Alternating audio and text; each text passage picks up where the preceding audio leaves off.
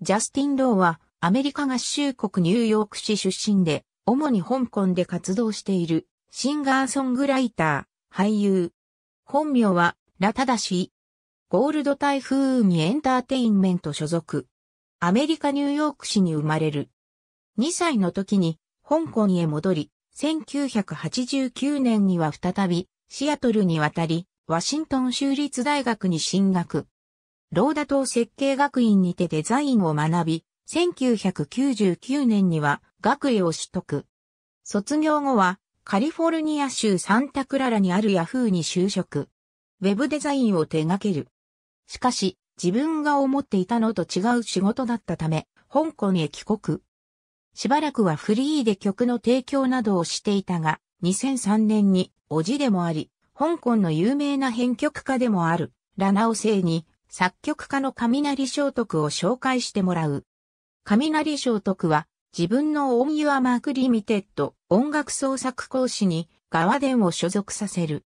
ケリーちゃんやエイランの楽曲の監修や編曲を担当する。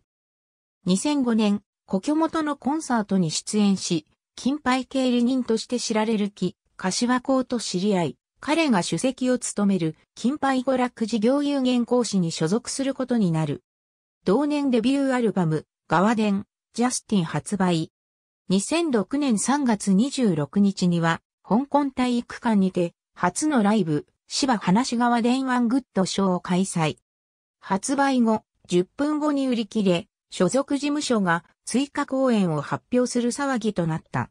2007年までの2年間で、マカオ、マレーシア、シドニーなどでも同様のライブを行った。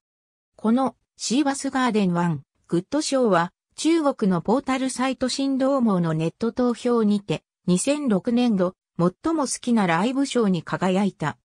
2008年10月には香港国際展望中心の規制にて3度目となるライブエアージャスティン08ライブを7番にわたり開催。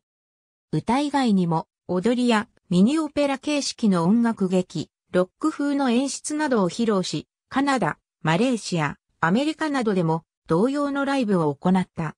2009年には映画、ホジアイに愛役で出演。主題歌も担当した。ありがとうございます。